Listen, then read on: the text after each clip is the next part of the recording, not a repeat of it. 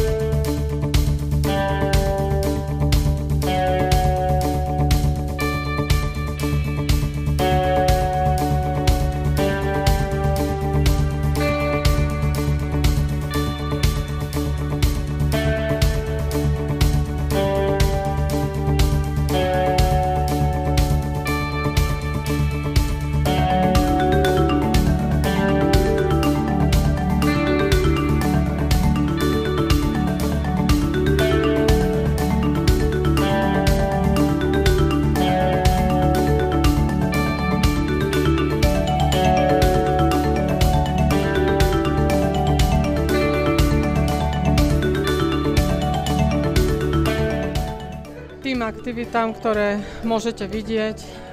Vo vestibule, máme výstavku plodov jesene, potom máme ochutnávku zdravých nápojov.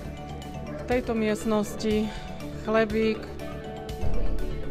máme tu hosti z Piešťan z Výskumného ústavu rastlinnej výroby a potravinárskej výroby, sponzorov, ktorí nám z Lipeku Liptovský pekárni včela dodali chlebík a marketingoví pracovníci pripravili ochutnávku zdravých pečiv, plus ešte v tej spodnej časti máme malé wellness, kde dievčatka predvádzajú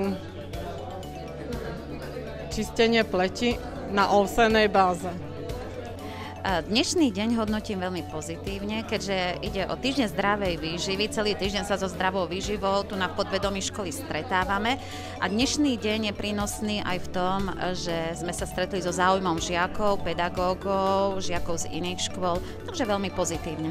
Sme si pripravili popcorn, ktorý sa robí dvoma spôsobmi, byť buď mikrovlnke alebo na pamičke.